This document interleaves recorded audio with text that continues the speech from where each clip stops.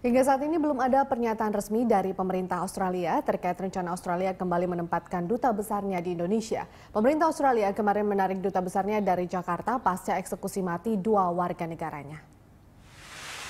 Pernyataan tersebut disampaikan juru bicara Kementerian Luar Negeri Armanata Nasir. Pemerintah Indonesia memahami kekecewaan serta sikap pemerintah Australia terkait hubungan bilateral kedua negara ke depan. Pemerintah masih akan melihat perkembangan dari situasi dan kondisi yang ada. Pihak Kemenlu juga menyatakan tidak perlu ada kekhawatiran terjadinya ancaman pemutusan kerjasama ekonomi oleh Australia terhadap Indonesia. Yang baru diambil saat ini how?